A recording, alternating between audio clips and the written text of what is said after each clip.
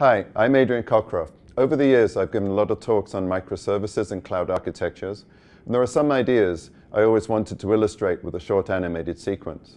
So I've worked with a visual design team to come up with a series of animations, each illustrating a specific concept. This month I'm going to talk about unblocking innovation for digital transformation. In many of the talks I give, um, I'm talking to enterprises about how they're being disrupted and how they're attacking new markets and responding to changes in, uh, around the world. This digital transformation is something that is true across many industries. So I've got a, a fairly generic presentation here. It's something that, um, that I think is particularly interesting for people that are going through this kind of transition. And I'll start by looking at old world IT. In the old world, you were managing employees at work, you were managing factories and supply chain, sales channels, and then your marketing analytics were driven from print and TV media. So that's the old world. In the new world, though, we're connected and we're using the internet and mobile applications to connect directly to employees all the time, wherever they are. Uh, we have factories and supply chain with continuous tracking and much more fine-grained detail. We have online sales and delivery. And we, instead of putting something in a box and shipping it out and hoping you never see it again because if you see it again it means something went wrong with it. The things you're shipping are IoT connected. They are, you, you find out about them every few minutes, they call back to you, and if you stop hearing from them, you, you need to worry about it. And then marketing has moved online uh, you need to be watching Twitter and Facebook and um, social media in general. What are customers saying about your products? You need to respond immediately. You can't just you know, figure out what happened to that print ad you put out last week. So what this is driving is new needs. You're now directly connected to customers, so you need to generate personalization that uh, addresses every individual customer differently. In many businesses, your customer used to be the retailer or the intermediary. Now the customer goes all the way to the end user. Uh, a couple of examples here. If you think about uh, TV stations, um, you would make content, you'd put it on at 9 p.m., you'd hope customer watched it, you'd go and ask somebody like Nielsen how many people watched it, then you'd figure out how much you could charge for the advertising. So that's the old world of TV.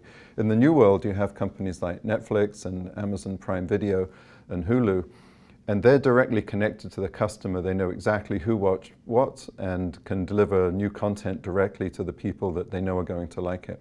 So that's the personalization piece. Then you need to use customer analytics to figure out exactly how customers are interacting with your product. Um, again, huge amounts more data coming in here.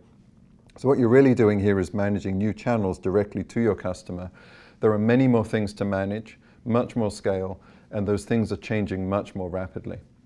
So that's, that's the digital disruption. It applies across so many different industries.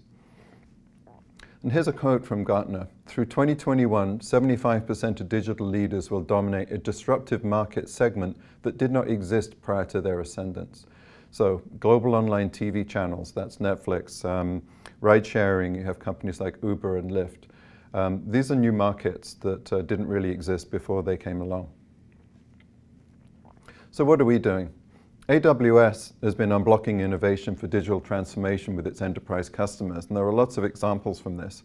But they typically go through a few different patterns. So I'm going to talk about four different things that tend to be the blockers you have to work with to get through that innovation, and then three different stages that that goes through. Here's the blockers. Culture, skills, organization, and finance. I'll go through each of these in turn. If we look at the leadership systems and feedback, one of the things that can get in your way is centralized decision making and then lack of trust, inflexible policies and processes. You have to figure out how to go at speed and to make decisions uh, that are local and fast because if you take everything to be central then you can't make enough decisions quickly enough to actually compete in this new world. There's a few interesting new books that you should be looking at as well. Stephen Orban and Mark Schwartz from uh, AWS have both published uh, books recently, um, Ahead in the Cloud and uh, A Seat at the Table. Should go have a look at those. Next, the skills. Training and compensation is a big issue. So what should you do? You really have to train existing staff on cloud technology. People go out and try to hire people, and you maybe can find a few people to hire, but I think the key thing is that cloud technology is actually fundamentally easier to deal with than traditional data center technology. Running things as a service, less work than creating them yourselves. The main issue is it's unfamiliar. It's not difficult, it's just unfamiliar.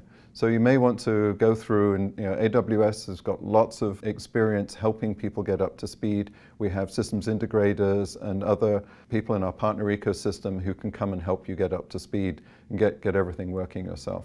You should also work to fund Pathfinder teams and get people up to speed by having small groups, get them to go try things out and uh, figure out what works for you, um, experiment a few times, and then take those teams and scale those out with more teams.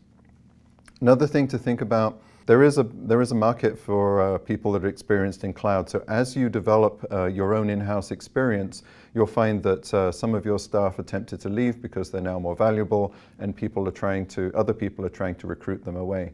It's, you know, really it's a factor of life. Um, and it's also it can be an, a, a, an incentive for your staff to actually go and retrain themselves.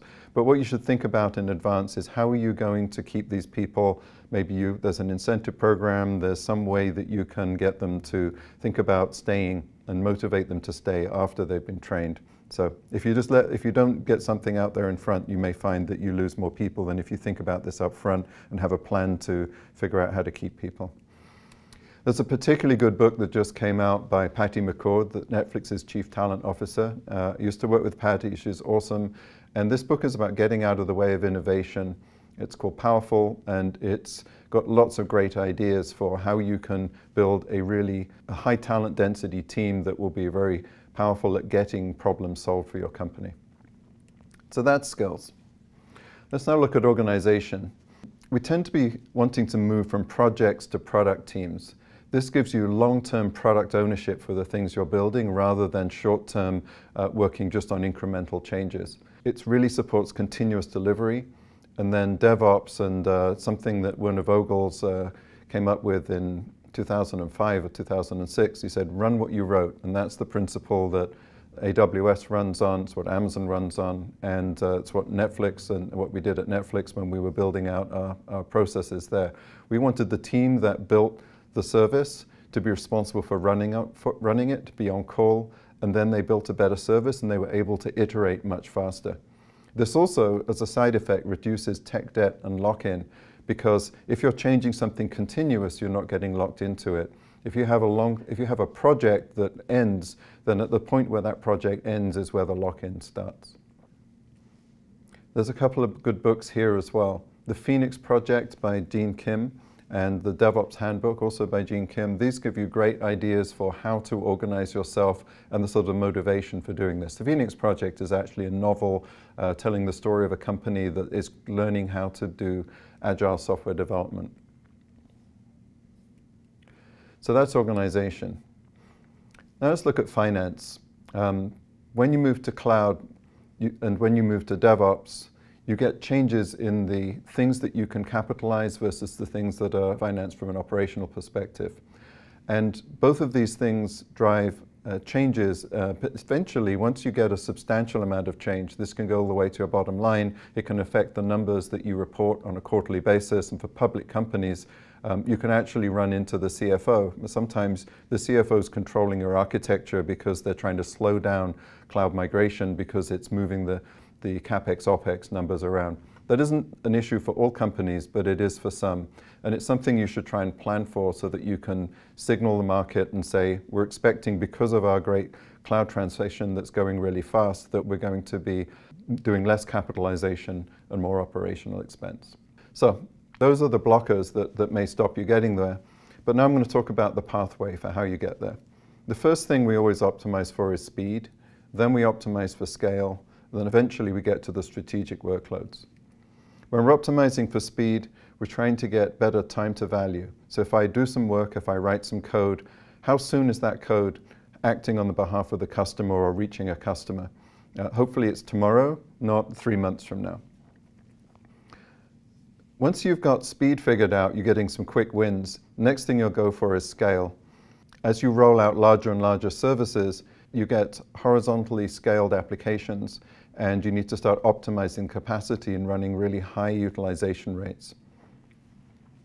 Finally, once you've got going at scale for most of your news type of applications, you start looking at data center replacement, some of the critical workloads that are running there that are moving large amounts of money around or supporting uh, safety critical or business critical workloads. This is an interesting area that we're starting to get into with AWS as more and more customers are doing data center replacement.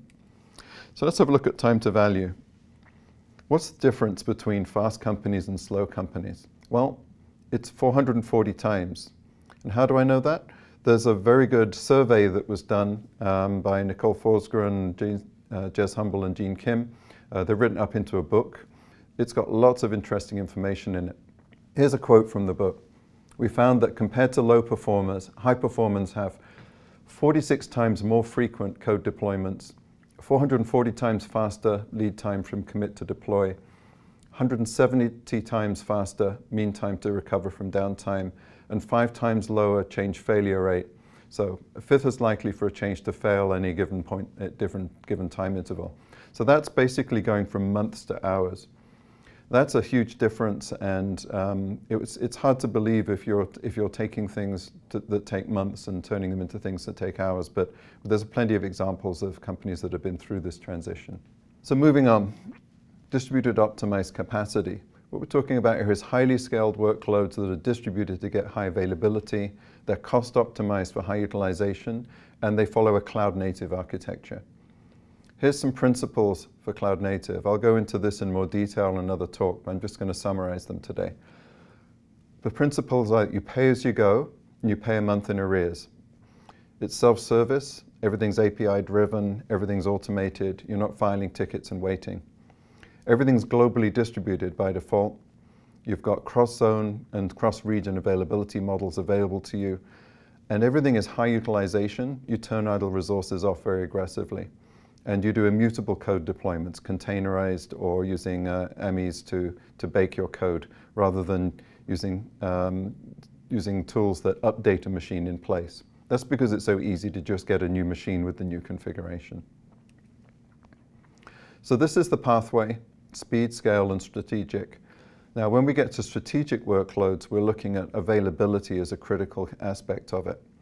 And Chris Pinkham, who was one of the engineers, uh, engineering managers when we were originally building EC2 at AWS, he said you can't legislate against failure. So what you should do is focus on fast detection and response. So let's think about this and, and relate it to something that everybody knows.